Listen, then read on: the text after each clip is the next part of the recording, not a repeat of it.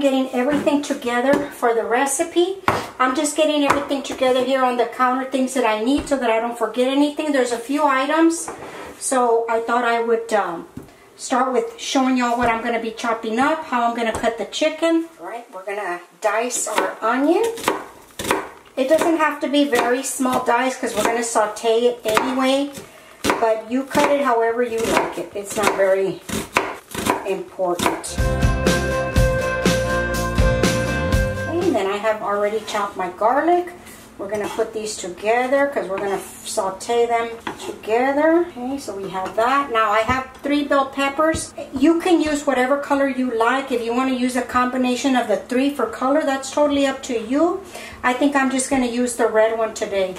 We're not going to use all of it. We're just going to use about half of it.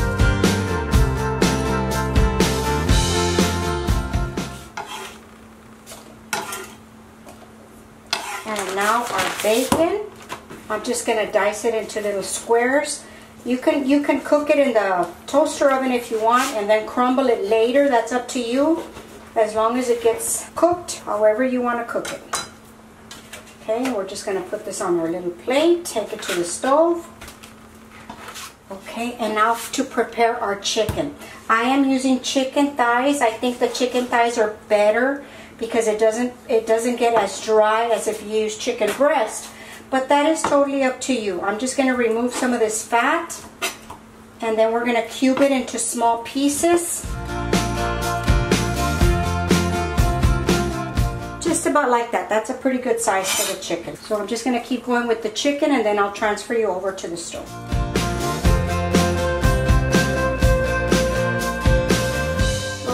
We are back at the stove. The first thing that we are going to do is we are going to cook up our bacon.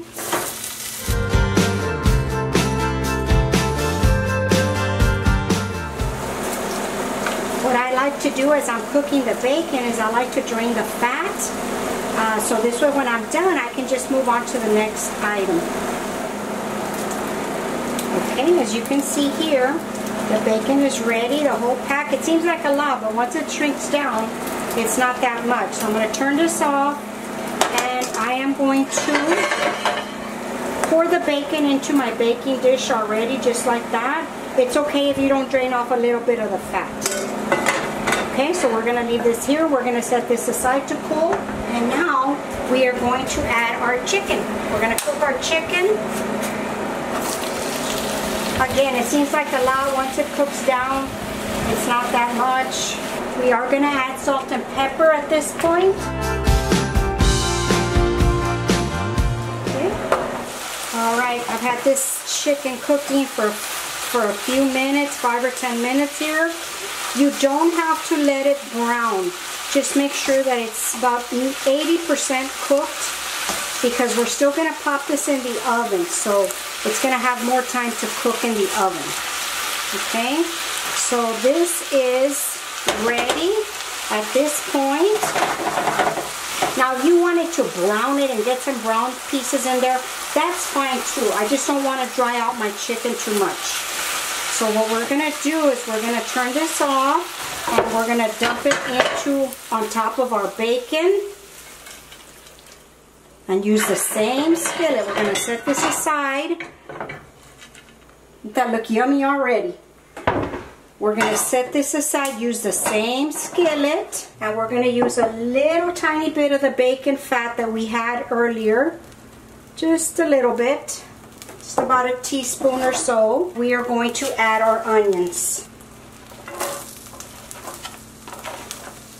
We're going to saute our onions just until they're tender or translucent.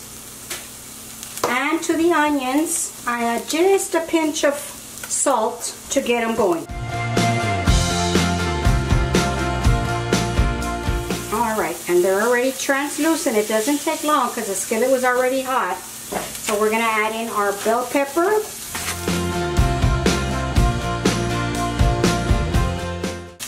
And our garlic.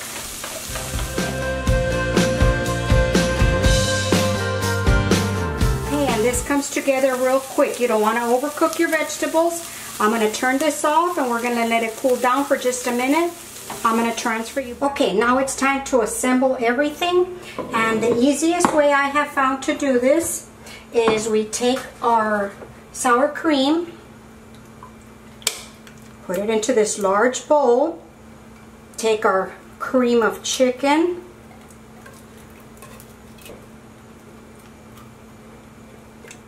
and we're going to whisk this together.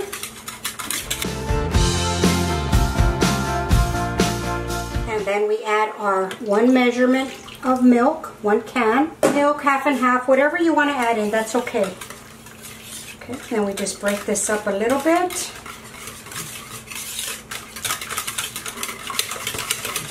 And we start adding our vegetables. Everybody in.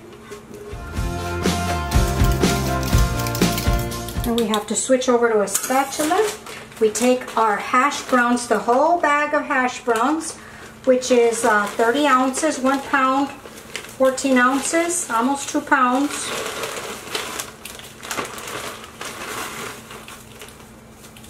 And if you have lumps, just break them up because you want those to get incorporated there. So just take the lumps and break them up. And now we start to mix this. Bring it all together. Look at that. There's a lot of flavor in here. Now we take our chicken mixture here.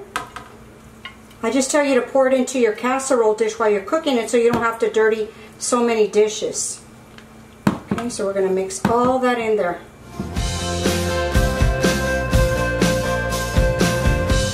And then we take our cheese. About two cups of cheese.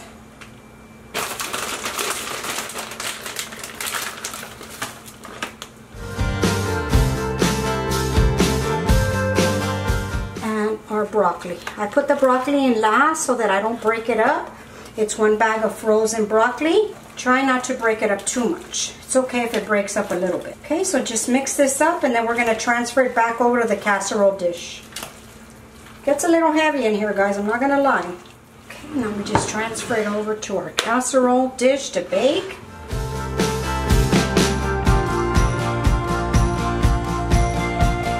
Okay, now the last component we have are our crispy fried onions. Use whatever brand you have on top. Put those on top. Put as much or as little as you want. That makes a really good addition to this. And this thing, the casserole dish, guys, just so you know, it is full all the way. It's very, very heavy. This can feed a good 8 to 10 people. So it's quite a bit of food. All right, and that's it. I'm gonna put it on top of a cookie sheet just so that if it spills over, it will catch it.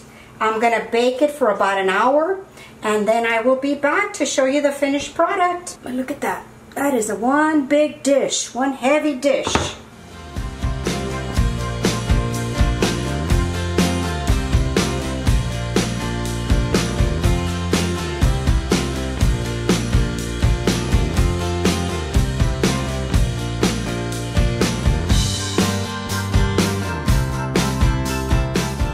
Okay guys, it's time to taste our little casserole here. And it did come out, it stayed in the oven for 50 minutes. I will leave the recipe and everything linked down below in the description box. Just take a look there. This is very good. It's a lot of food, guys. Mmm. Oh, that's very good. Very good. Real nice and creamy. And you can taste the chicken, you can taste the broccoli every every item has its distinct flavor and it's cheesy I mean and it has bacon how much more can you ask for in a casserole? It's really good guys. I hope you give it a try. Thanks for spending time with me today. Don't forget leave a comment big thumbs up subscribe to the channel. That really helps my channel out a lot. Don't forget to go visit my new channel at Let's Haul Away. I will link it for you up above and I will talk to y'all later. Bye